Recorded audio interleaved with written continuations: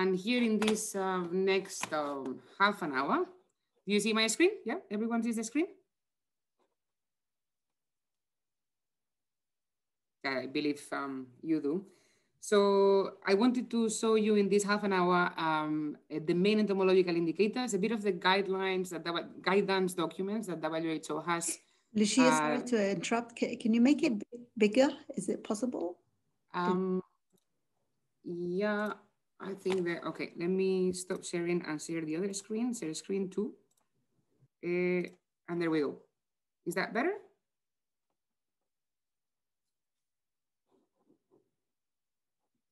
Is it better now? Is, it, is this yes, in the perfect. display? Yeah. yeah. it's better. I think.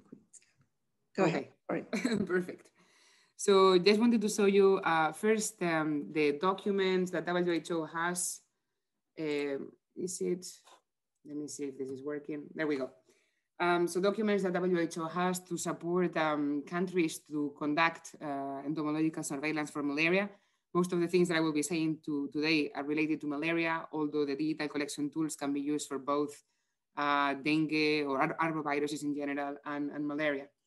So I just wanted to show you here that there is this key document that you see is currently under review, which is called Malaria Surveillance Monitoring and Evaluation.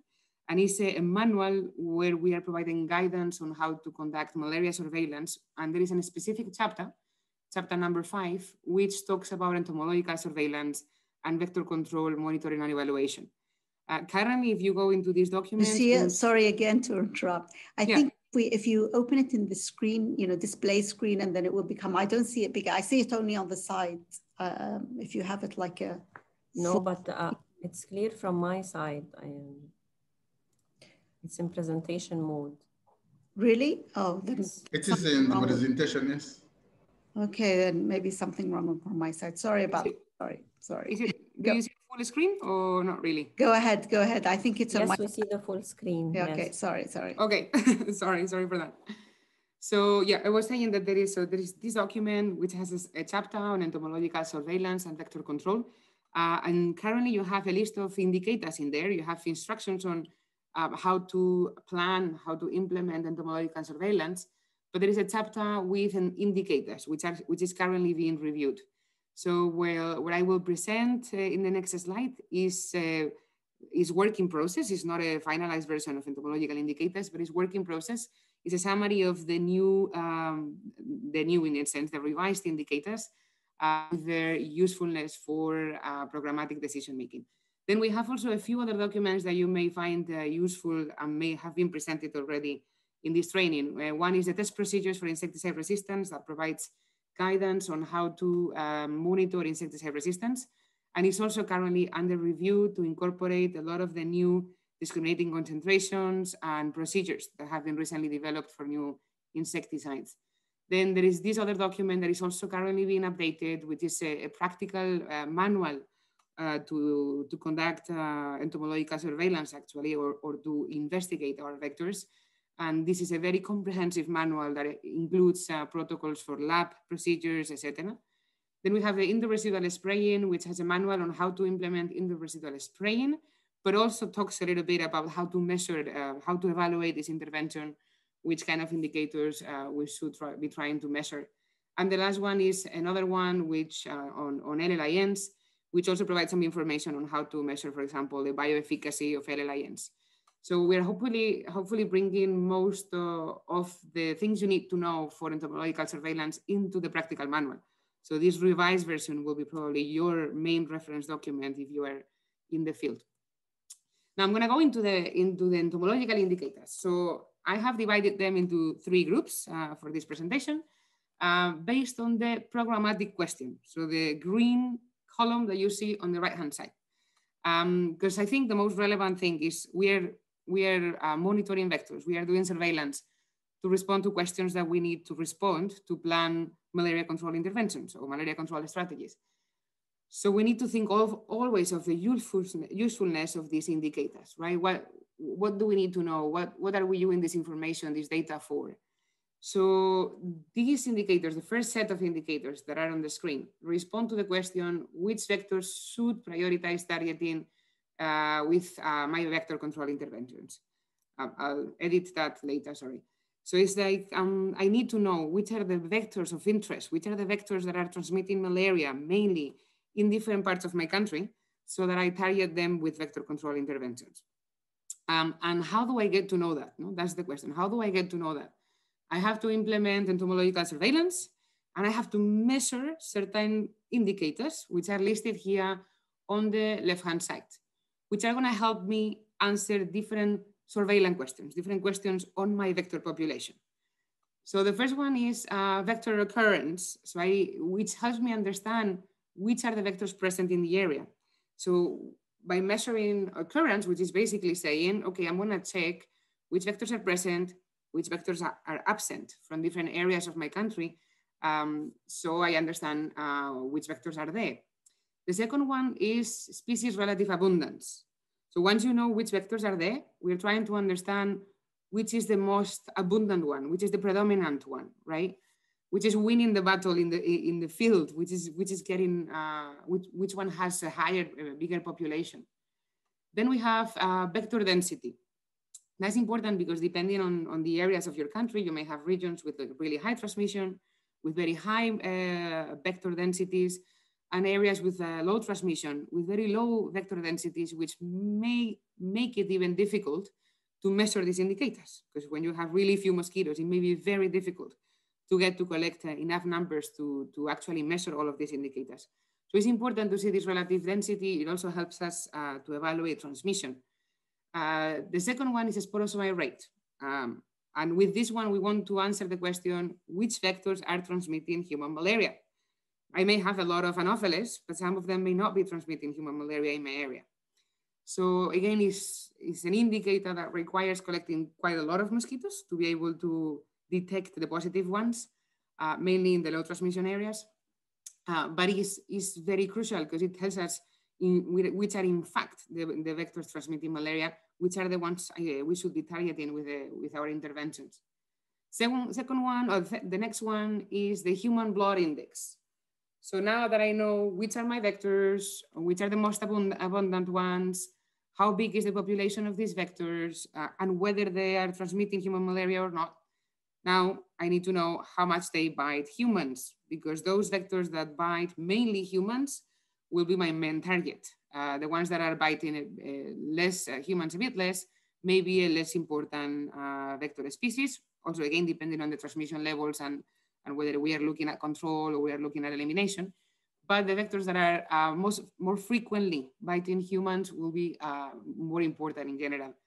Then we have the human biting rate, which is how many bites a person is getting in one night, for example, or in one month, or in one week, or in, or in one year, depending on the time frame we use to, to measure it.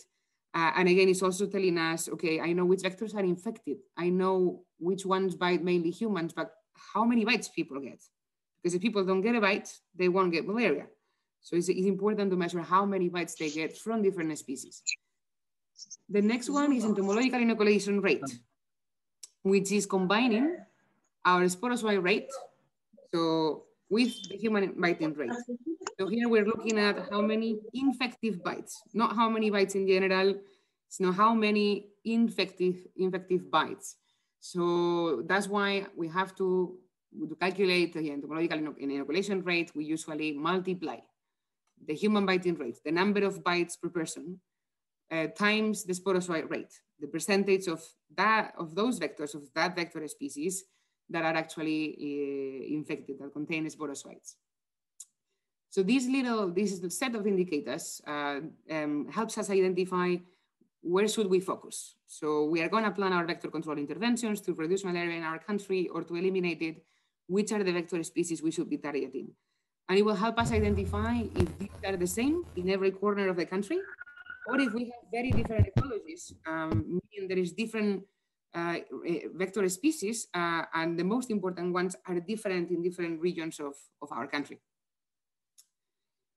Any, any quick questions before I go into the next question, into the next programmatic question that entomological indicators will help us uh, answer? I don't want to talk too much because I think if, if we make it interactive, it's going to be better. You will learn more.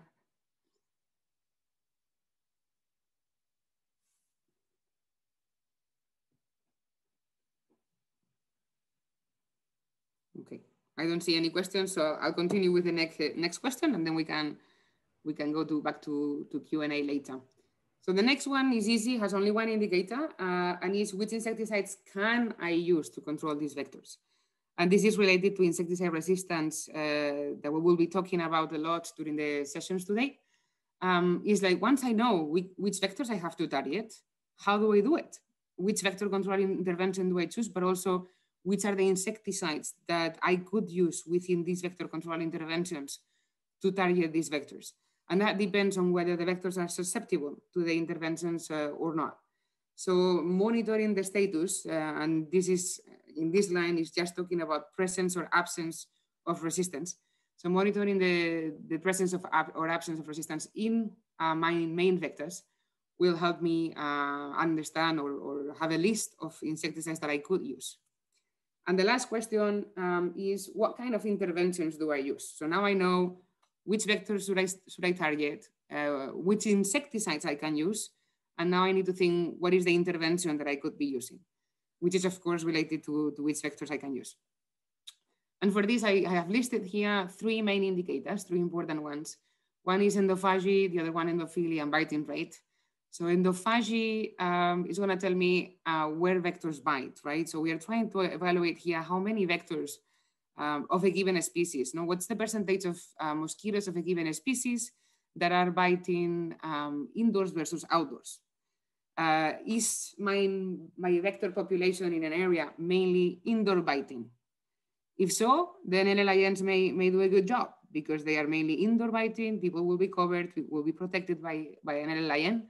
So they will be effectively protecting people. If there is a lot of outdoor biting, we know we may have a proportion of malaria transmission that we can't prevent using LLINs. So we need to think of other interventions to tackle that proportion of malaria that we won't uh, be able to, to control. The second one is endophily, and this is about where our vectors rest. So endophagy was where the vectors bite. Endophily is what our vectors rest. And this is important because one of our core interventions that I saw that you know really well, uh, IRS and LLINs. Um, so IRS is an intervention that is targeting vectors that are resting indoors because they need to rest on the wall, on the sprayed wall of the house um, to become in contact with the insecticide and die eventually, right? So if they don't rest indoors, they are not going to be exposed to the intervention and they're going to escape and we are not, be, we are not going to be able to control them. So knowing uh, which species mainly rest indoors, if our main species in our areas mainly rest indoors, will help us understand how effective is IRS going to be, right? And what's more or less the proportion of the population that we can control with uh, IRS. And the last one, which is quite important as well, is biting time. And that's very important, um, especially for, for LLINs, because um, we know vectors and anopheles, malaria vectors, bite during the night, right? G general statement, they bite during the night. So we have bed nets that are protecting people during the night. Now, uh, there are some moments uh, where they may maybe maybe vectors biting, like early evening times, like 6 a.m., 6 p.m. or 7 p.m., when vectors are already starting to bite and people are not yet under the net. So they are exposed, despite having a net, despite using the net effectively, despite tucking the net very well under their corners of the bed. These people may still be exposed during quite, quite some time, depending on their behaviors, on, on human behaviors, to uh, these vectors biting early in the, in the evening, or vectors biting as well uh, in the morning after people have woken up and when they are doing stuff in their houses. So that's, um, that's the other one. So three questions, three programmatic questions that these indicators can help us answer. Which vectors should I target? Which insecticides I can use to target these vectors? And which are the interventions I could use based on endophagy, endophily, and the biting time of the vectors? In very general terms, there are other indicators as well, but I think this conveys a bit of the main um, uh, idea of the usefulness of these entomological indicators. Um, before moving into the immature stages, into the larvae and pupae uh, related indicators, any questions? I am seeing people commenting on the chat. Yes, there's a couple of questions in the chat box. Yeah. Right. So, okay, I see the first question is the proxy. So yeah, I mentioned, I wanted to go more into the methods uh, later with all of you. Uh, so I'll, I'll, leave this question for later. The other one, what are criteria for selecting indicators? So these ones that I presented on the screen are the, the most important ones because there are more indicators, but these are the most important ones. Now, one of the big criteria is going to be resources. It's not easy to measure some of these indicators and we may not have the resources to do it. And for example, I'm gonna give an example. Uh, biting time. For biting time, we need to be able to be collecting mosquitoes in different, uh, in different containers, if we think about traps, or we need to do human landing catches in, in different um, time periods during the night. That is quite time consuming. Uh, human landing catches is now not very ethical because we are exposing humans to mosquito bites. We can give them malaria prophylaxis, but we know now in this training that there are other mosquitoes transmitting arboviruses for which we don't have prophylaxis at the moment. Uh, so we are putting people at risk when we do human landing catches. So that may not be an acceptable intervention. And the alternatives will be to have either uh, field workers replacing the containers of the traps every one or every two hours during the night, or we need to buy more complicated equipment that automatically moves and, and collects mosquitoes in different bottles uh, throughout the night. So that is quite, quite demanding in terms of resources, and we may not be able to do it. So all of these things are important things to know, um, but it's, it's, a, it's a matter of resources in many, in many cases. Then I see another question, which is some settings, LLINs are the first choice for exophagic vectors as they, people sleep outside the rooms in endemic areas and they sleep in rooms during winter. So it cannot be restricted to endophagic ones. It's true, it's true. If you can get people to use, or in some areas, we have also hammocks um, with netting around them, so in those cases, um, you can use LLINs. If people sleep outside and they can use a net, because the problem when people sleep outside is that you have no places to, to tuck the net. You have, it's difficult to set up the net on top of the place where they sleep. If they sleep, uh, for example, in a hammock that you can hang somewhere between trees and protect them with netting, then, then it's also a, a good intervention for exophagic vectors. Actually, a, a good idea. Um, what about Parous rate? It is an important indicator. So that is more for evaluating the, the control, the vector control interventions. So these ones that I was presenting here are indicators uh, for understanding our vectors and planning how to target them. Uh, parity rate um, will help us understand a bit whether we are able to have the effect on the vectors that, that we want. So it's different set of indicators that I didn't include here, but I think it's actually based on seeing this question, it may be useful to circulate these indicators with you as well after the training. The threshold level of differentiate the area in high, medium, low transmission on the basis of the number of female Anopheles mosquitoes per room collected. Difficult, difficult. Uh, if you look at the studies and you look at the human biting rates or the densities, uh, Anopheles per room, uh, it is uh, complicated to, to set like universal thresholds, to, to be like, well, above uh, five mosquitoes per room, uh, we are expecting more or less transmission because that depends also on whether these mosquitoes are biting human mainly, or they're also biting animals, whether these mosquitoes, how, um, what's the proportion of infected mosquitoes of, of those species that you are collecting in the rooms. So the number of mosquitoes alone doesn't always predict transmission, doesn't always, may help in, in some settings, but doesn't always. How many years we should measure these indicators? How many years we should measure these indicators? Very good question. Uh, in general, at least, I would say at least two years so that you can capture a little bit of the changes that ecological conditions or climatic conditions can cause in the vector population. So uh, a very easy example is a, a, dry year, a year with a drought is uh, likely to yield less, less mosquitoes because they don't have breeding sites, while a year with flooding will make the population increase a lot.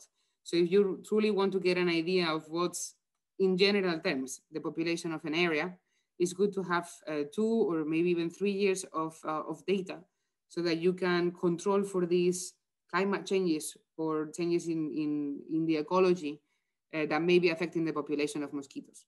Um, so yeah, I would say two years. And this is not counting, not, not thinking that you are evaluating an intervention, thinking that what you want to do is to understand the vector population you need to control. Then two indicators, human biting rate and endophagy. We need to use human landing method and there is ethical challenge for this, so it is possible to use another way. Yeah.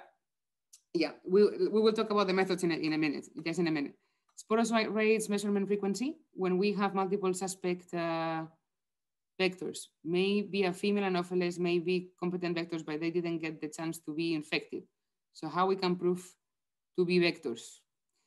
So often, um, hmm, so there is a lot of cases when you suspect uh, a species is a vector, but you haven't been able to detect uh, the infected individual because the proportion of infected uh, mosquitoes of that species is very is very low. Um, the, the best uh, from my experience, what I've been doing is i I've been trying to find evidence around me.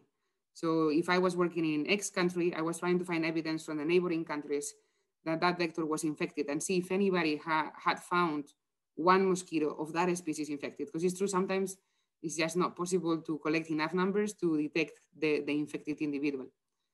Uh, and what are the WHO recommended, recommended WHO for larva and, uh, and adult density interventions? I don't understand that question. Uh, Musa Mohamed Dani? Could you maybe type the question again or, or ask the question in the group?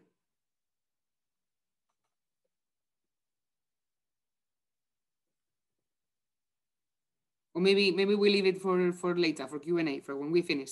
Let's go into the methods because I see there is a few questions on, on, on the methods. Oh, sorry, let's go first on the larvae because this is really short. On the um, entomological indicators for immature stages, which is larvae and pupae. And then we go into the methods. So these ones I just uh, included three. Uh, there are many and there are many more if we are talking about Aedes. So probably you've seen some of them in previous presentations from, from other colleagues.